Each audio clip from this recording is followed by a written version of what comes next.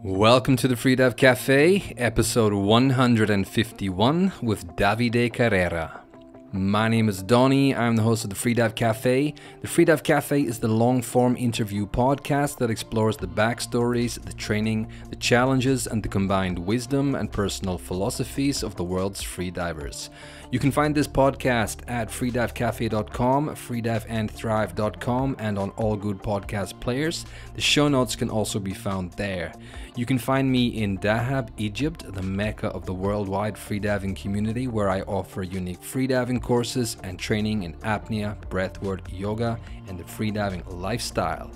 Come visit me anytime to begin or continue your journey into the depths. If you enjoy the podcast, please like the video and subscribe to the channel to keep up to date with new releases. Today we have Davide Carrera, Davide was born in Turin in Italy and began freediving as a child. During his summers spent in Liguria, he was part of the World Championship winning teams of 1996 and 2001 and established a free immersion world record shortly after when he dove to 91 meters. He moved away from the competitive sphere for a while and went on to study yoga extensively, and he integrates that into his freediving. And it was his tale of solitary wandering across the Mediterranean in his 28 foot trimaran that inspired my first interest in Davide. We first spoke five years ago on episode 22 of the Freedive Cafe podcast.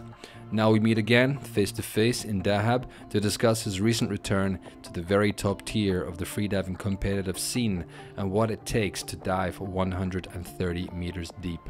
Okay, let's dive. Okay, Davide, welcome. Welcome back to the Freedive Cafe, uh, which this time is actually hosted by uh, Dahab Freedivers. So thank you to uh, Carlos for uh, giving us the space to uh, have this conversation here.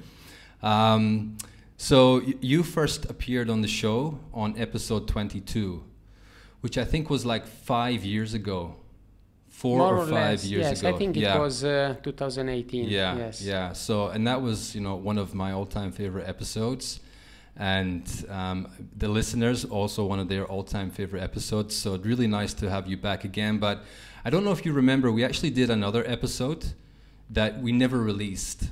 Mm, Do you remember this? not much. Yeah, I know, and I also I also struggled to remember it because I think it was just around the time when uh, when COVID started, and we were doing like a training talk episode thing, and it was uh, initially going to be for the patrons, and then was going to be released later, and I just completely forgot about all that. Yeah. And I did many of those episodes. I have maybe like seven or eight with people that have never been released. So that's going to be one for a special later, but I have to find it first. Uh, you're in Egypt, in Dahab, with me this time, um, and you were just telling telling us that uh, you haven't been here for a very long time. What brings you back to Dahab this time? This time is uh, a friend, um, uh, Bruno Caverna. is uh, mainly is a martial artist uh, from Brazil, and he's my age. He's uh, 47, uh, almost 48, and he's very interested in uh, the research of the movement and uh, somatics and uh, fears, and uh, so he's he's a very interesting guy, and uh, so he fall in love with freediving, and uh, he thought that freediving as well is a very nice tool uh, to uh, know better ourselves, to explore our emotions and uh, fears. And so he get very passionate about freediving. He contact me to to do a workshop together. So working on land with uh, movement and uh, some uh, exercise like fighting, but it's not really a fighting. It's more just exploring movement, and uh, and then in the water. Yeah. So this is why I'm here back. Is it like just you and Bruno together, or there are other? No, there, there are there is also Alina that I just met, and Julia that is a friend of Alina, and they are both uh, freediving instructor. And then there is uh, Emma that is my girlfriend, and she will help me as well uh, uh, with people in the water. And uh, yeah, so we are a nice uh, team. and um, and like I told you before, is I was here many many years ago. I think the first time it was around maybe 2002, um, 2003 or also before. I don't remember exactly. And the last time I was here, it was in 2008, and I was a little bit afraid to come back because uh, I know that um, is changing, changed a lot.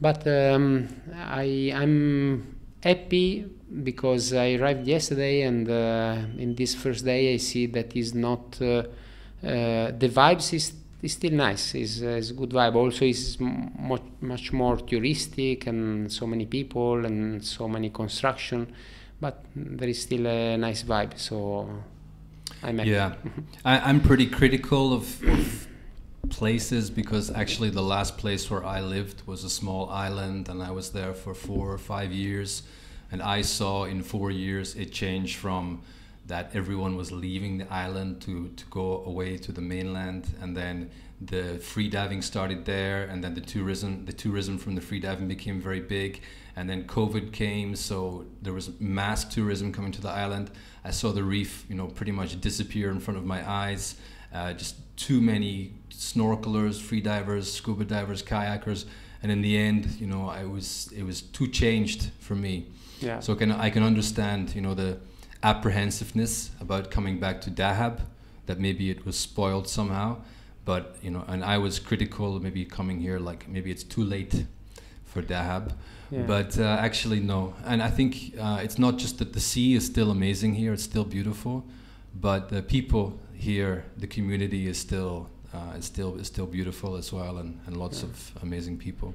Yeah, now as well, it depends from uh, season in life. Now I try, um, I spent some period of my life where I was very critical. And now I try to look more at the positive things and uh, and see that uh, then there is something uh, good always. And um, for example, to me, to see so many free diver and the free diving movement growing is uh, is something nice because I know how much free diving changed my life and how much is a, a healing sp- sport because it's very if you take it in a right way. Uh, so not just for the ego of doing some more meters, but for like an inner search is a powerful tool to to grow like a person and is very healing. And so um, uh, it's very good for uh, for everybody uh, for the humanity to have more and more free divers. So this is very nice. And then of course if uh, we go many people in a place some more pollution and uh, and the the coral are so fragile and they disappear but as well uh, the red sea is so big and it's so alive and there are so many reefs that also if some coral they have to sacri- sacrifice themselves here there are so many other coral around. That the thing is i think is very important if um, uh, through also the free diving movement we can uh, uh, try to make the people more aware about the environment and um, do some sensibilization uh, and trying to be everybody more respectful for the environment. Then uh, the impact we can have is uh, much more positive than the negativity of losing some corals. And uh, and so when people they uh, fall in love for uh, the ocean free diving I think then they become more a little bit more um, respectful. And is our responsibility like instructor to pass them this message like the priority. And then if we learn to live uh, in also when we are back in our hometown or uh, anywhere in the world there are few things that if are mm, done from many people are um, much better than uh, big things make it alone. What i mean if somebody live in a cave and with any kind of impact on the environment is doing a great thing. But of course not everybody can live in a cave and eating just uh, berries and uh, leaves. Uh, but if everybody turn off a light when you get out from the room, that it seems a stupid things, but so many times people leave the light on without being in a room save so much energy that it will make a very nice impact on the on the planet and also like uh, stop using so much plastic and I think in 2023 still buying plastic bottle for drinking water is something crazy that we try really to have to change and uh, yeah it's a lot of little things that can make a big impact Yeah. if done from many people Yeah, and um, on the subject of plastic bottles, this is one of my main projects that I want to get involved with here in Sinai and Dahab and Blue Hole. It's insane that people are still able to buy plastic bottles when we have the water dispenser Yeah. solution. yeah and you Um, can bring your own Yes. bottle so, and you know, of course, it. you've been around the world in many places. You've seen this strategy work well in many places. I'm sure I've been in places where it's you know every place has a water dispenser, and that's something that I'm going to be involved in uh, later later in the year to try to bring some uh, some action in that area. yeah Yes, and talk, talking about changes in the freediving world, obviously a lot, even since I started, you know, when I came into freediving seven years ago, I was looking up to you, Davide Carrera, and, and I'm sitting here with you, which is pretty cool.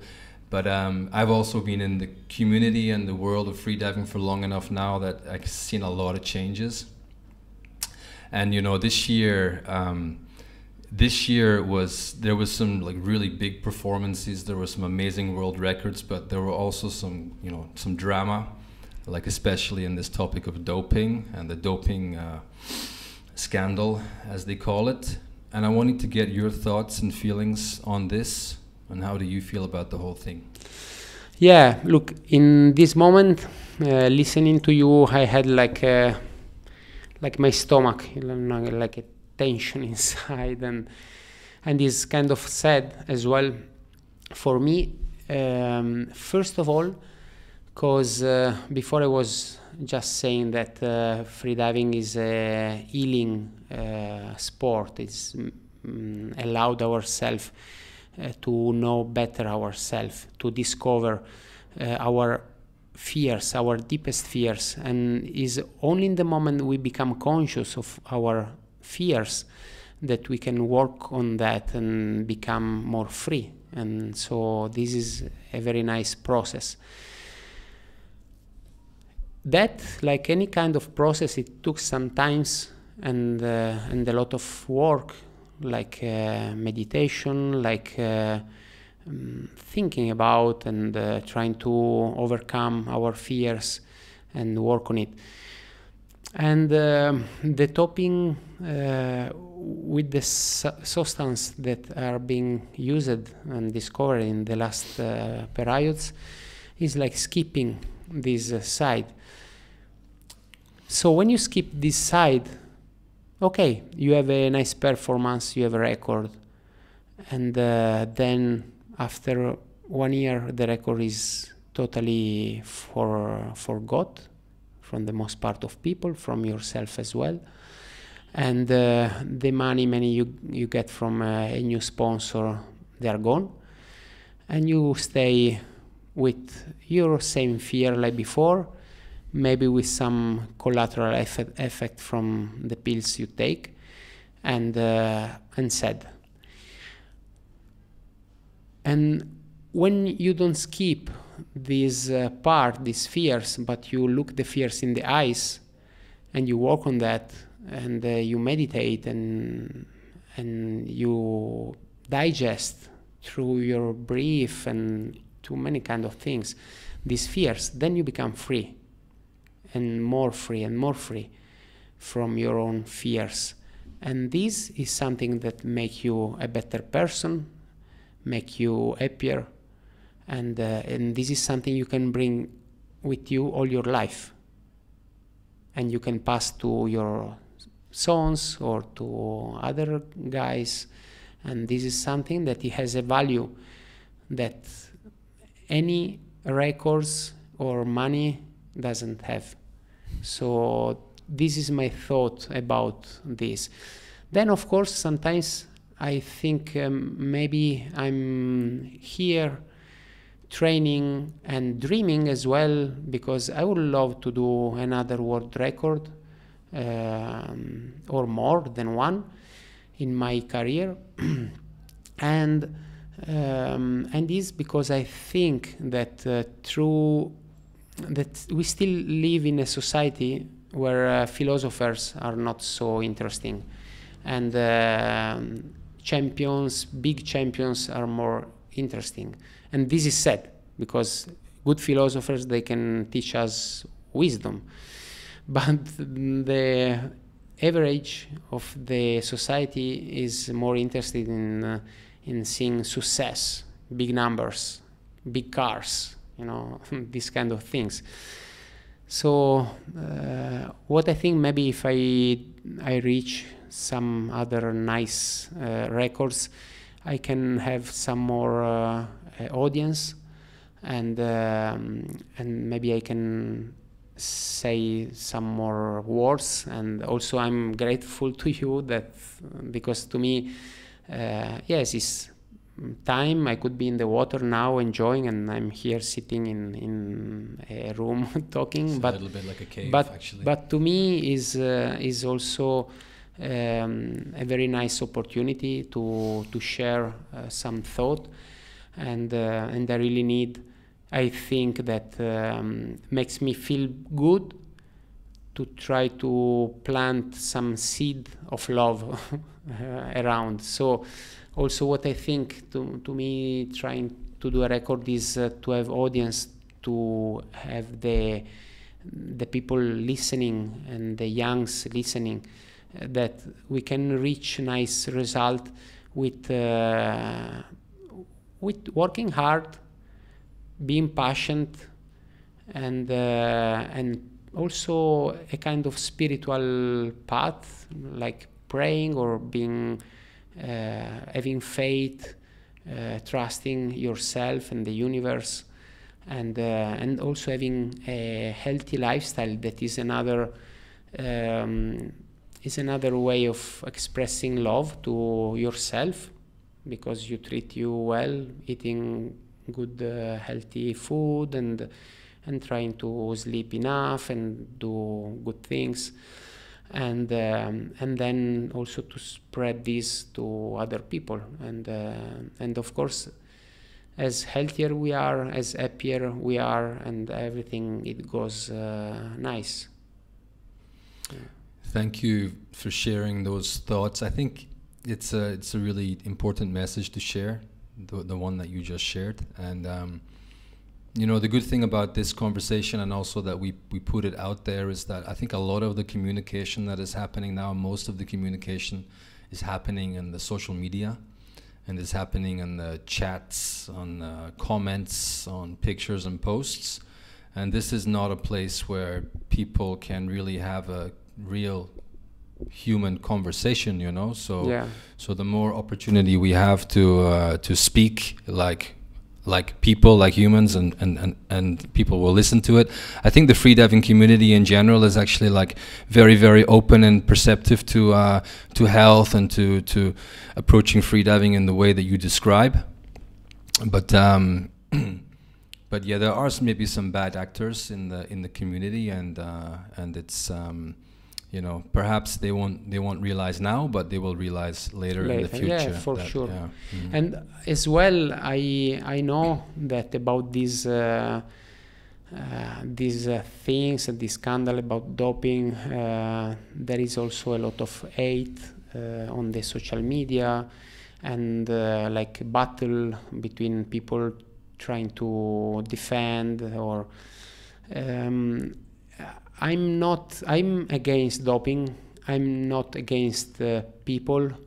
I think that if some people took uh, doping in the past, now, in the future, uh, they are just confused, and uh, and they need also maybe some love to understand that uh, everybody we can make a mistake. I did a lot of mistake in my life, and and it's normal. And then uh, we can forgive each other, and we can try to support each other and to grow. And uh, I I think that if we try to, to understand that some things, and I mean in natural things or uh, things like that the force, the natural way are not so good and healthy, uh, is important. Also, some people told me, ah, but so also spirulina is a doping, or uh, or ashwagandha is a doping, or uh, everything. Also, chamomilla is changing you. Mhm. Also, Caffeine, it, also coffee. it, a tea is changing you. So everything is changing you, but there are some things that are natural and are making you also healthier, and there are some other things that are um, not so natural and they are mm, making you not so healthy. So also we have to try to to make that to understand Yeah. and and also about this hate created on the social media i think that also defending a person that make a mistake is not love. If a friend of mine he make a mistake if i really want to help my friend i will go to tell him you make a mistake. I will not say oh you poor. No because if i say ah you poor you're good it's okay what you did this i'm not helping my friend. So it's not defending that we can help uh, people. It's just uh, saying okay you did a mistake okay you you start and you have passion you learn and, and you will be a great athlete because these people they are very strong. Of course they cannot do these things just with doping. The doping is a little head. Hmm hmm and Mhm, uh. I'm sure they can do the same things without this little head Mm. just learning how to deal with what they have to deal Mhm. Yeah, yeah, yeah. Unfortunately, the the social media realm and that means of communication is um, it leads it leads to to each person having a, a, a- a view of reality that that it's very easy for them to support that view because they click like on something and then the next thing that comes up reinforces the thing that they like. So you tend to see what you want to see. Yes. and then uh, actually having conversations like this are quite difficult. But let's uh, let's hope that this little uh, wave of negativity washes over the uh, freediving community quickly and then we move on to better things. Yeah. And uh, if not then that's the way it is but let's talk a little bit more about you because um, I remember you were a little bit kind of out of the scene for a while, and then a couple of years ago you came back. You did like I think last year in Vertical Blue you did 123 meters Yeah. in constant weight, which was amazing. And then this year you did 130, and it just like blew my mind. Like we, we were all sitting in Dahab freedivers, just heads exploding and melting. And this is um, it's a really huge increase in your performance. It's um, and it, it's not just that, but at least for me personally, I always see that it's like you you're different in your diving. Something is different. You're stronger, way stronger. I was even saying a couple of times because you had the LMC on the surface, yeah but I was like, of course, he was like coming up so fast that Too I thought quick, he was gonna like Yes. pop out of the water, the including the monofin. yeah. So, what has happened in the last year or two that has invigorated you, that has improved your performance so much and taken you deeper? Yeah, it's not just the last uh, few years because um, uh, so the f- the first time I did 100 meter it was uh, in uh, uh, 2009. Yes, in 2009 I did uh, 100 meter. It was 99.8 with mask, without packing, without mouthfill because I didn't know about these uh, things and uh, so it was already a good uh, thing. At, at this time, I was uh, uh, just coming back from a few years uh, where I was not competing. Be- let's say between 2004 and 2008, I didn't compete. I was living like a, a fisherman, like Mhm. spear fishing On your on sailboats, I a little Yeah. sailing boat, a trimaran, going around between Greece and Balearic, south of Italy, Sicily, like this. And uh, I was just spending my days in, in the sea fishing and then trying to living in a very simple way. Um, and uh, it was like a kind of uh, mm, hermitage. You know, it's, it Yes, was I yes. in that uh, time of Like my a- life I like need like being alone and uh, spend time connected to nature and uh, and meditate and doing yoga and diving, doing these kind of things. Then in this time I had a a moment like it was a kind of spiritual dream. And in this spiritual dream, I received this message uh, from a saint, uh, Don Bosco, and uh, he told me, realize yourself into sport and then approach to religion. I understood that uh, the mission of my life it was to try to to work on myself, to being a, a better person, working on myself, because to go deeper, unless you take pills, you can you can you have to work on yourself because uh, before I always say before to go deep in the sea you have to go deep inside yourself.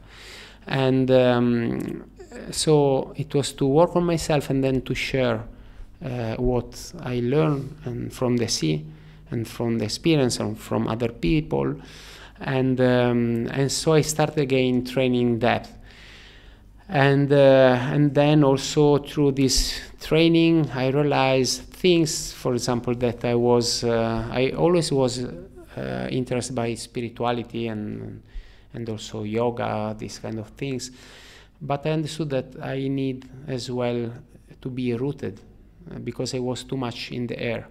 Like a tree that uh, it grows the branches and forget about the root and then at certain point it fall down. So I had like a, a crisis, a little bit of depression, and and then I understand that I should go back to the root as well. And the root are the our animal side that is also the strength, is also the, the muscle, is also your relationship with uh, the food, with the money, with the family, with sexuality, all these kind of things related to the first chakras, to the base of Mhm, uh, mhm. our being. And and so I went back to this part, and I went back to a, also a physical training that was not just for running in the mountain and uh, and doing yoga, but was also working again on the strength. Uh, and I understood that um, because I was looking at athletes uh, that they were strong, like um, Alexei Molchanov, mm, very strong in his legs and doing like uh, squat and heavy weightlifting. So he said, "Ah, maybe this it works. And I came from another school because at that time, uh, when I started with uh, Umberto Pelizzari many years ago, the idea at that time of Umberto it was uh, uh, we have to train just endurance to have long muscle that they don't burn uh, much. But uh, yeah so then i started to work on strength again uh, to work on strength again. And um, and every year also is uh, because uh, w- when I was talking about passion, I see when you start to do something, it's not that you start to do something and the next day you are strong. It's not that you go in a gym and you do 2000 squat uh, uh, with weight and, and the next day you are Superman. Mm, it needs time. It needs time. You give input to your body gently and then again and then again and you grow. And so to work on strength, to work on peace of mind, to work is all a, a work that is not that you done from one day to the other. It needs passion, and this also this job you are doing is already make you feeling better from the first day. Mm-hmm. Also, if you are not Superman the next day, But for the first day you go to the gym, you exit the gym and you feel good. The first day you do meditation, you finish your meditation and you feel good. So, and and then it's just the thing of going on practicing and find the time and the energy to do it. And then uh, slowly like a tree i like to talk about tree because i love agriculture as well since i was uh, young. And um, so the tree uh, it doesn't pretend that uh, the day after he was uh, planted to give uh, fruit. It needs time it needs water it needs love it needs manure it needs you know care and then after a few years it gives fruit mm. so the fruit are coming from my last dives is not what happened in the last two years mm-hmm. but is mm-hmm. what happened in mm-hmm. all my life and also mm-hmm. become aware of my vulnerable point and working on that mm-hmm. and um, so also uh, in I was competing when I was in Bali when you make the interview to me to do some training and competition in 2018, and um, I compete as well in 2013 and 14, 15. This year I was competing and going deeper and deeper. In 2016, I did uh, uh, 111, and then the next year I did 116 and then uh, next year I was uh, in Bali. I did um, deep dives as well, and then in then I had like a burnout because I was just diving deep, diving deep, diving deep, and I reached a point that I was like burnout, and so I said, okay, I have to take it easy and uh, if not i will make some i will damage myself mm-hmm. because i was feeling that i was on the edge and so i rested for a while then i started again and i said i will stop competing till the day i feel that i really want to go deep again and this happened happened like uh, in 2019 i went to the spanish championship and uh, not diving very deep but i felt okay now i want to go deep again. And uh, and then i was always training anyway always training uh, winter time diving gym running swimming pool everything. And then the next year i start the covid. So this is why i i couldn't compete in mm-hmm. 2020 and then in 2021 I went to Vertical Blue and to the World Championship. And uh, I did 122. In 2022, I did uh, 123. And uh, in training, I did 125 and uh, and then it was easier and easier to go over the 120 and this year i trained all winter a lot and then I was doing dives winter time at 100 meter with the 8 mil uh, wetsuit. 100 that, meters with the 8 mil wetsuit yes, in the winter? Yes, in mm-hmm. uh, in May, not winter, it was already I started mm-hmm. winter doing like 80, 82, mm-hmm. 84 mm-hmm. slowly increasing while I was also doing a lot of gym to strengthening the legs and always meditation and yoga and running in the mountain. right, so anyone who's complaining about having to put the five millimeter wetsuit on in Dahab in the wintertime should listen to this. I think I think to me it, it, came, it became also because the wetsuit we have today are different from the wetsuit we had like all, only five years ago. So I remember the, my eight millimeter five years ago I couldn't put the arms yeah. uh, up because it was so hard now uh, we have some material um, that are so nice. They are very soft and same times they doesn't squeeze too much because before the material or they were squeezing a lot if soft or too hard. And now we have um, very soft and material and warm at same times. So I feel with the head mill comfortable like with a, a three or 4 mm. mil. So it's Are very you nice. using the Yamamoto or, or no. something else? No, it's a new material. top secret. A top secret only Yes. for you? No, no, it's not only for me. It's for uh, all the people. At the moment, is Biavati is my friend from Sardinia that makes me the wetsuit. Okay. That he developed this material with um some people in Asia, um, where he was buying the the neoprene, and uh, and we we are very happy about this uh, material. Okay, top secret new uh, neoprene material coming soon. Uh, Yeah. That's some juicy uh, gossip for the guys out there. Yeah. Yeah. So, and I think is a very nice. Uh, I love to train also in this condition because it's challenging. Is uh, like if you train going running up in the mountain with a backpack full of stone, Mhm.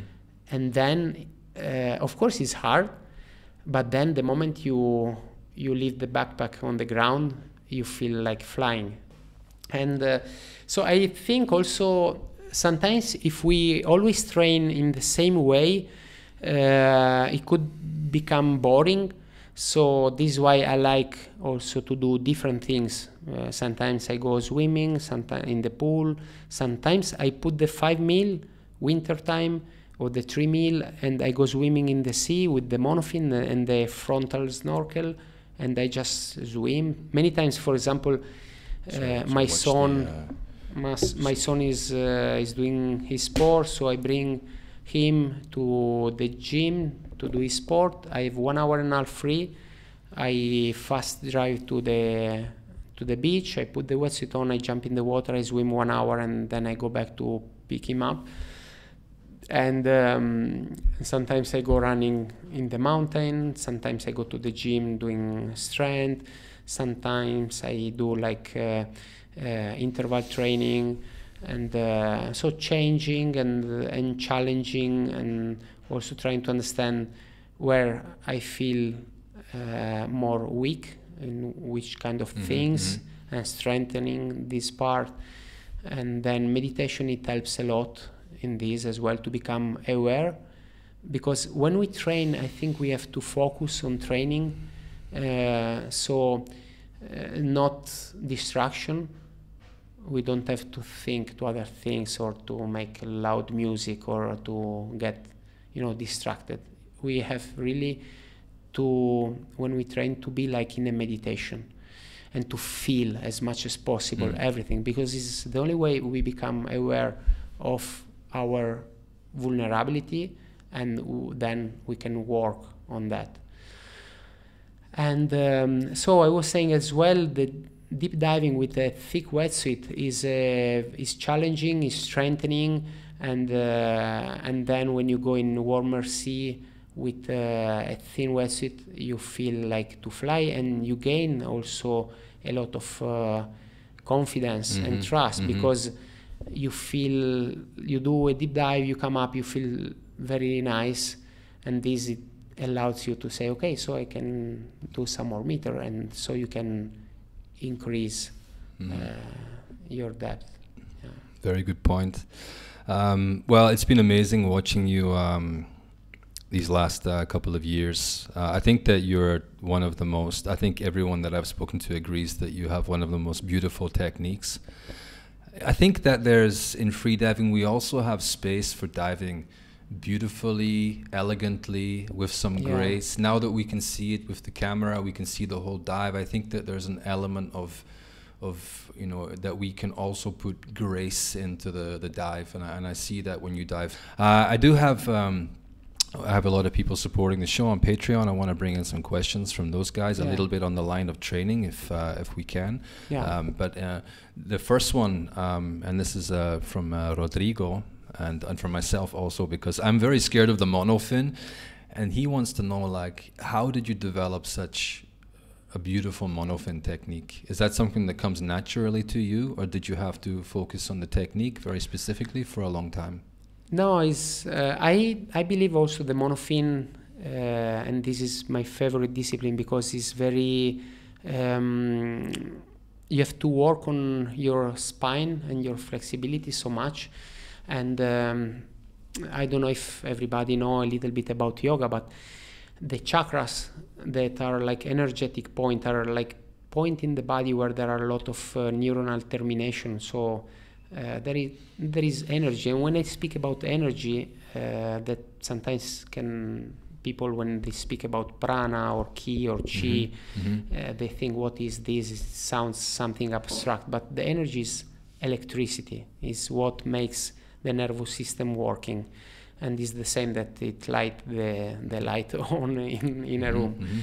So uh, the ions that we breathe, because when we breathe, it's not just the uh, the air uh, and uh, nitrogen and oxygen. No, it's also ions, and these it go to nourish the nervous system, and uh, and to nourish the these chakras that are located starting from the perineum and getting till the top of the head, and um, so uh, the movement of the monofin uh, it goes to touch every single chakra every single part of ourself and every single part of ourself is related with uh, some emotions some fears some organs.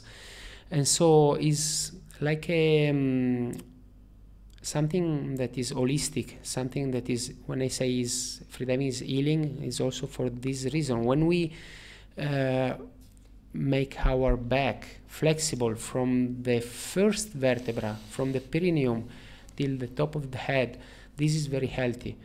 And so working on this to me is very nice. Then i was a swimmer when i was a child and teenager and i was doing butterfly as well I was a sprinter, uh, and uh, and then um, when I started to use the monofin, I really like it, and I. I at the same times I was doing yoga, so working always on the flexibility of the back of the hips, and uh, so the this job on flexibility with yoga and uh, with the monofin, uh, it helped me very much about the technique and then like i said before the work also in the gym to strengthening to understand thanks also to my uh, trainer and many friends that they are very good in training. They helped me observing me and trying to look in the videos and understand which kind of muscle you use more and uh, how to work on that. And so uh, my trainer jacopo querci uh, he give me the exact exercise to do to strengthening uh, mainly the, all the muscle around the hips and uh, and so yeah it's all these so strengthening and working on flexibility at the same times uh, that at the end it gives the beautiful technique Mhm. and these years of also Yes. job on that Yeah, I mean, I just spoke to Alexi, you know, um, and uh, what comes across from that conversation also is that a lot of people maybe today are losing sight of the fact that there are years of development involved in reaching the, these depths in a comfortable and safe, and in your case, a beautiful way. And uh, maybe it's a little bit a sign of the times that people want to go from their 30 meter uh, depth to the 60, 70 meter range a little bit uh, too quickly sometimes and, and skip some of this um, holistic approach to developing free diving. yeah Um, a lot of people wanting to know and about removing the nose clip so deep. I think you're removing the nose clip just after you turn around. Yes, I always did like this. Um, when I was uh, doing safety to Umberto Pelizzari, and he was doing his record more than 20 years ago, uh, he was always uh, taking out the nose clip at uh, at the bottom when he was uh, turned.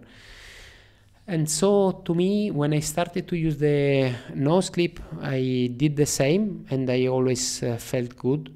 And I like also the feeling as more my face is uh, free and naked, as more I feel the water caressing my face is uh, beautiful feelings. And then I believe that uh, reaching the surface without the nose clip uh, is also better because I don't have to think on Mhm. removing the nose clip.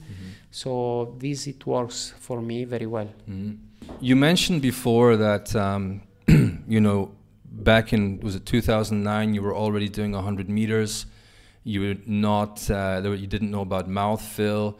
Um, someone uh, mark um, said that watching your video, it looks like you are bringing up air or reverse packing as deep as 100 meters or more. Is that the case that you just have that flexibility that you can still retrieve air at that depth, or is that contractions that you see? Or no, going down normally, uh, unless I'm sick, I normally don't have uh, contraction. I normally have very late contraction, also when I do static, mm-hmm.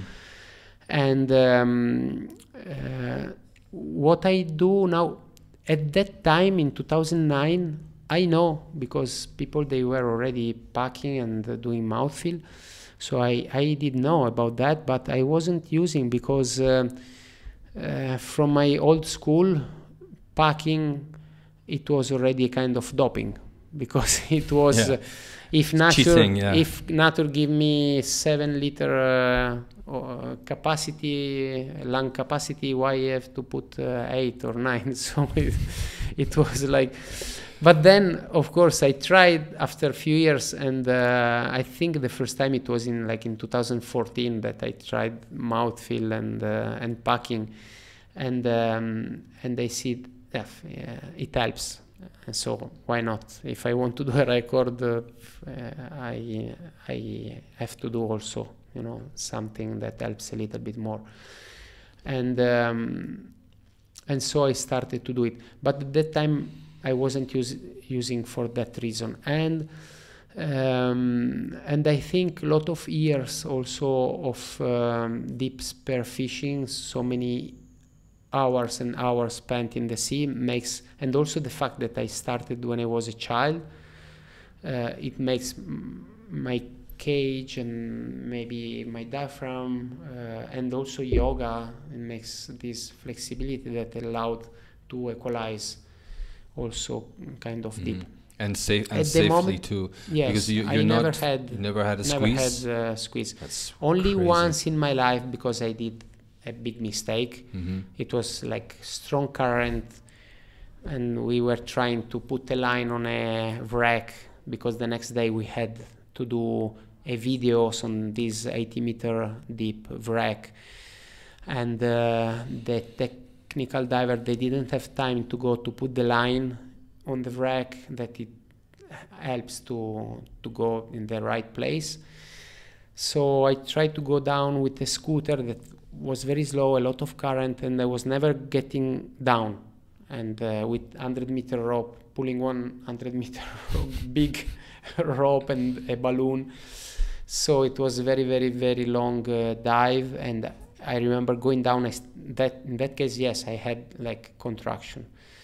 And um, and in that case i arrived on the wreck and I f- didn't found at first a place where to put this carabiner i had in my head and, and so i lose other time and then when i surfaced that day i was uh, spitting blood but normally I don't have a squeeze.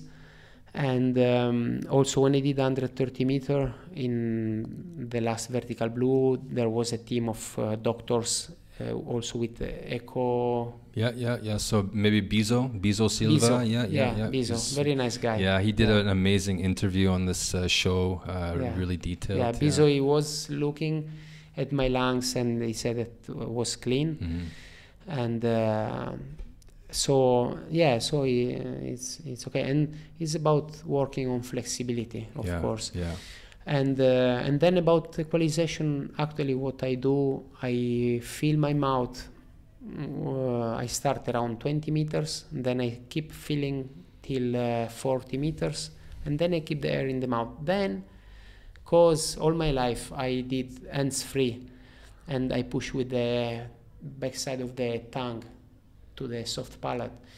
Um, I'm not so good in putting the air from the mouth to the ear.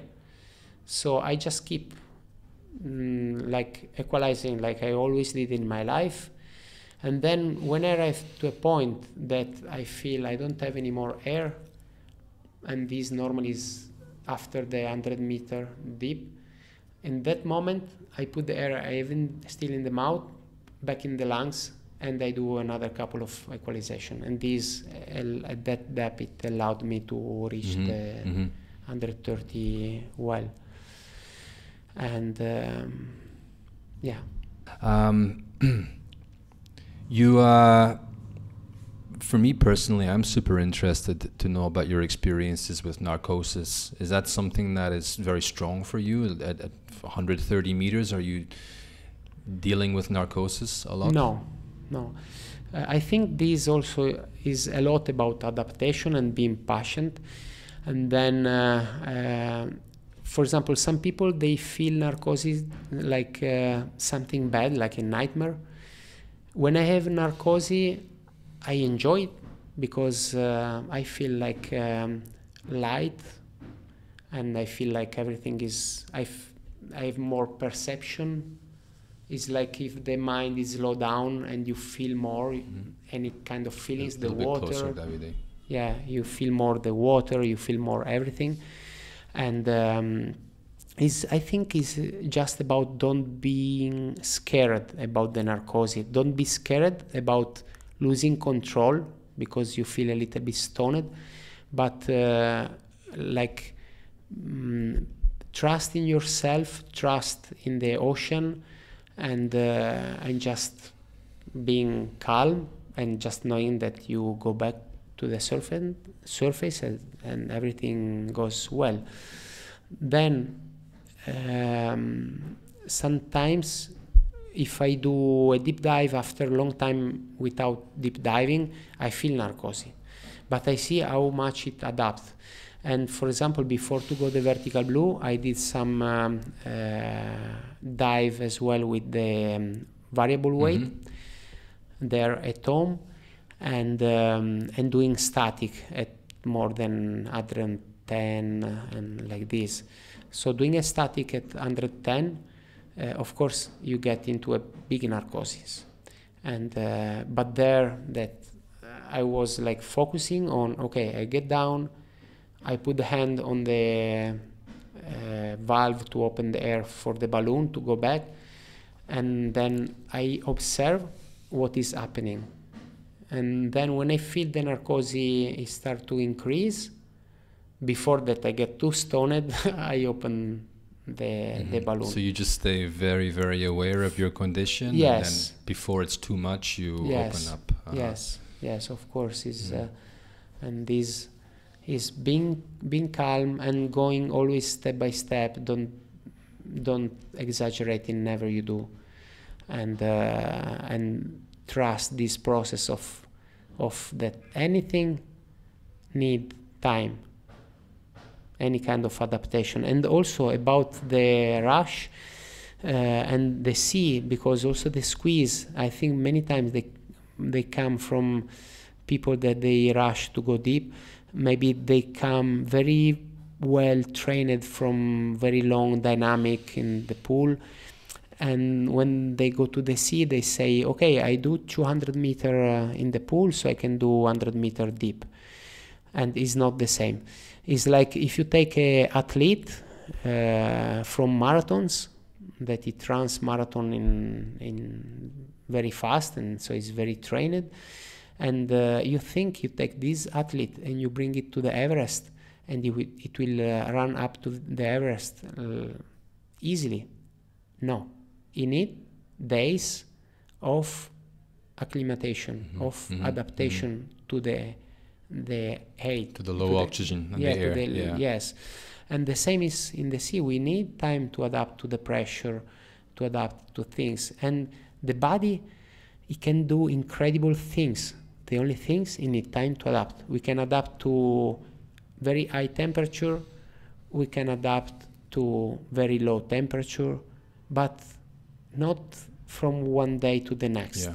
we mhm. need time and uh, and if you are patient and you listen to your body without pushing too hard because it doesn't need to push too hard to in- increase also this is a, a concept that to me is very important many people they think uh, yeah i have to push hard to push hard if i want to become to become better to me, we doesn't need to push so hard.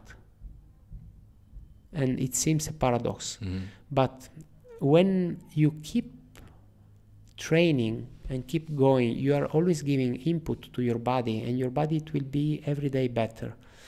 If you push hard, it will just ne- next day be too tired, and uh, and so you cannot practice.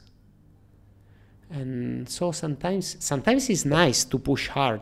Of course, I like sometimes to go to the gym and the next day I couldn't walk, but but, not all the time. Mhm, And also, it's about feeling. Sometimes it's a, a pleasure work hard. Sometimes it's not a pleasure, Mhm. and uh, sometimes it's a pleasure to learn how to rest. And sometimes resting is a pleasure. Sometimes resting is not a pleasure. Uh, so it's all about balance. Where is uh, home for you now? You said uh, back in home. Where are you? Where do you, where do you call home? Mm, look, I was born in Turin in 1975. Then I started freediving in the um, Ligurian Sea because my grandparents have a house there when I was a child. And then I traveled uh, quite a lot. I lived uh, around on the sailing boat. I lived in Sardinia for a few years and then I moved to Spain because um, the mom of my son she found job there near Malaga, and uh, I went there to stay close to, to my son, and um, and I feel good there. I now I can say I feel at home. Okay, so you this is the main place that you call Yes. home now. I live in Nerja, that is like 40 minutes east from Malaga, Okay. and the people are nice. The place is nice. The weather is nice, so it's, it's good. Uh, there's a question from you. What, what is your son's name again? Uh, Nero. Nero. So there's a question from uh, Jamie or Jaime uh, that um, you know they want to know uh, if your son is also into free diving and if you see him diving deep one day. Because we see him supporting you in the ocean beside you on the dives, but he, does he also like it as much as you do? Um, yes, uh, but I don't want. I hope my son doesn't listen this interview. No, I'm joking. Uh, no, I don't want to uh, to have any influence more than what it is already. Mhm, Just mhm. being me, a freediver, on him, because I remember that my father he was a very good football player and uh, he couldn't realize himself because um, my grandparents at that time the idea was the sport it doesn't make you concentrate on studying on this kind of thing so he wasn't so free to to play football but he was good and when i was a child he tried to make me play football. And uh, i was feeling like uh, a kind of pressure Yeah.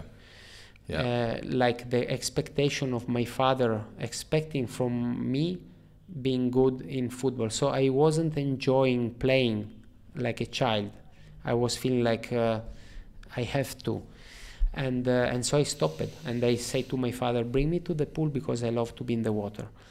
And um, so i don't want i want to leave my son free uh, and that he can express himself. Maybe he will do other sports. In that mom in this moment he's exploring. Every year he, he does different sports um, and uh, he's exploring. Uh, and to me also it could be a sport it could be uh, anything a music or any kind of art you know that can help to express yourself. So he has to find his own way. Um, then uh, he loves water. He loves to swim. He loves surfing. And uh, he loves uh, he loves freediving. But sometimes i think he's so freediving like uh, that is my job. And uh, but some, for example in vertical blue playing he went to 40 meter and Mhm. he's uh, Mhm. 14 years old Right. Yeah. so he can be the next um, Alexei Molchanov Mhm. because he can be the next Davide Carrera. yeah, he, he has in you know the evolution in the genes. Yes, he has yes, already uh-huh. the job I did. Uh-huh.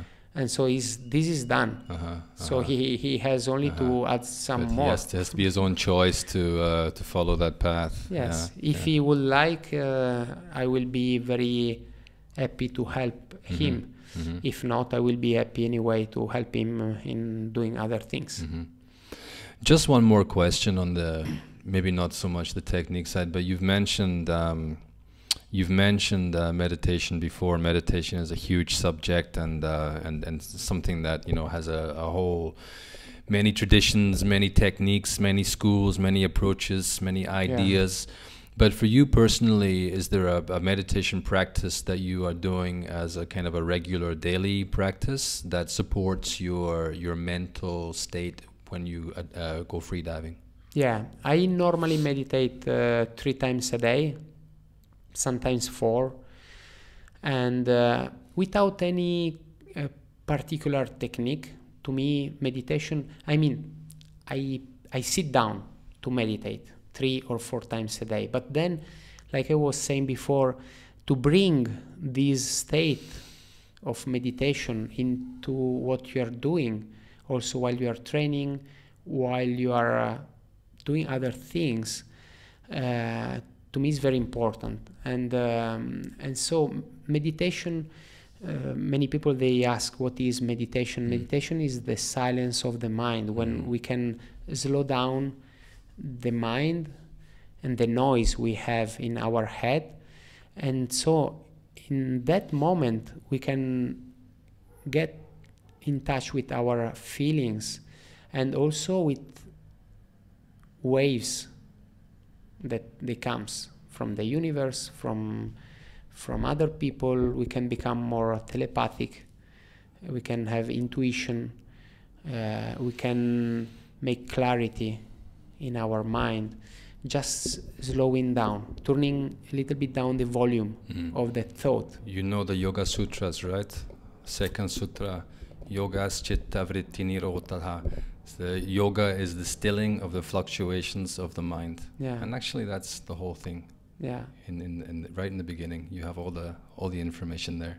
yeah and uh, and so normally i see that it's much easier to enter this state of calm mind when uh, we are like a little bit uh, empty uh, so normally i try to do it before eating so i the first i wake up i go to the toilet and then i sit down uh, sometimes i do some yoga before like some sun salutation I started a few months ago also uh, in doing hurt salutation that a friend of mine teached me and is nice. hurt, Hurt. like Yes. painful. No, no. What no. is hurt? No, hurt to the the ground, Oh, to the planet. Earth. Yes, hurt. I Yes, I sorry. thought you mean hurt like. To uh, me, English is in certain words is so Uh-huh. s- difficult because to me hurt uh, Yeah, yeah. It, it, It's I- I can understand to you. It's almost the like, same. Yeah. like air. yeah, yeah. We have like very, very small differences in the words. Make yeah and i'm not so able to cap these differences so Yeah. to me also the air or the air we breathe is Yeah, it's the is same. Yeah, yeah, yeah, yeah, yeah. sound almost Yeah. the same Uh-huh, uh-huh. anyway and So you say uh, earth salutations? yes i think it's also a good balance because many times we think spirituality is going towards the sky the father and we forgot that we, we have also a mother Uh-huh, no uh-huh, that is the the planet the mother earth and and also uh, is up and down is the same. And like masculine and feminine right and left yin and yang. So when we find this balance between the opposite we find also more peace. And so when we are only thinking to the sky and we think the spirituality is in the sky and we forgot about our roots Mm. and our connection to to the the mother earth then we are not balanced so also doing this uh, earth uh, salutation I, I Mhm. say Earth well, salutations, yeah, yeah. yeah. is balancing Uh-huh. and is nice I'd be interested to see how they look because I do something called ground yeah grounded salutations, which is where you start uh, on the mat like a kneeling position yeah and you stay with the, the legs on the ground. You yeah. don't stand we up. Will, we will I'm interested to compare if we're talking about the same thing, because you know people. Uh, I often recommend this for people who are either beginning or who who don't have the energy to start with sun salutations, Okay. because sometimes the the high energy uh, is is it's too challenging for people to start their day with this uh, Yeah. standing up and moving around. But when you start from the ground and you kind of like almost like wake up like a flower, you know, like Yeah. opening up slowly and and uh, yeah, this also is a practice I like to do. It's like uh, I feel sometimes I I lay down, belly on the floor, and I stay there. And the better sometimes is with some tribal, tribal like Mhm. very grounding music. Mhm, mhm. and I stay there till I start to feel the music in my belly, and then I start to like to sprout like a, a seed. Mm. No?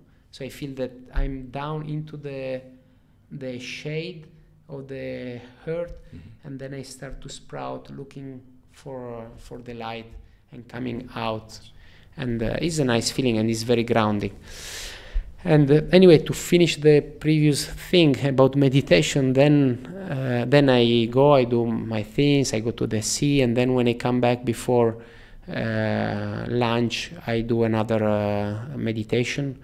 That to me is sitting down, 15 minutes, 20, 10, it depends on feelings. But to have this moment that is like, okay, I take a moment where I try to turn off the the the mind and just to feel to feel my breath to feel my body to let that the thought they come not from my mind but from the universe. And uh, and then um, observing yeah. And then i do the same before dinner and sometimes if i had a very challenging day or very active sometimes I do another one before to go to sleep to help also to to relax the, the mind before to go to sleep. Yeah.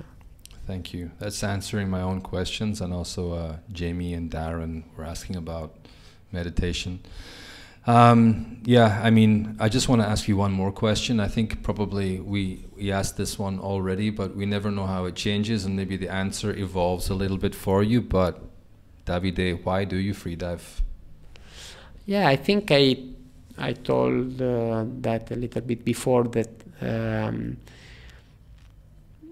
I dive because I feel good first, and and then at that point I discovered that because I have this talent in freediving since I was a child, uh, I could use this talent to give a message and so the why I I want to go deeper uh, because it's not necessary to go deeper and deeper to feel good because I feel good also if I go here in front and I do dives to 30 or 20 or 40 I feel good as well.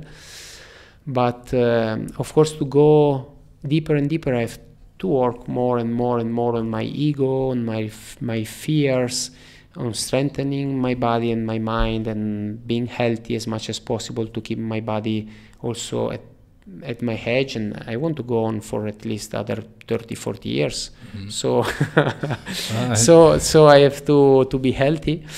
And uh, and then to spread this uh, message about love what what we try to to do. Thank you so much for sharing uh, this conversation with us, Davide. Thank you for and, and nice to meet you uh, finally in person. Um, yeah, welcome to Dahab and talk Thank to you, next time. Maybe Yeah. in another five years and maybe 30, 40 years down the line.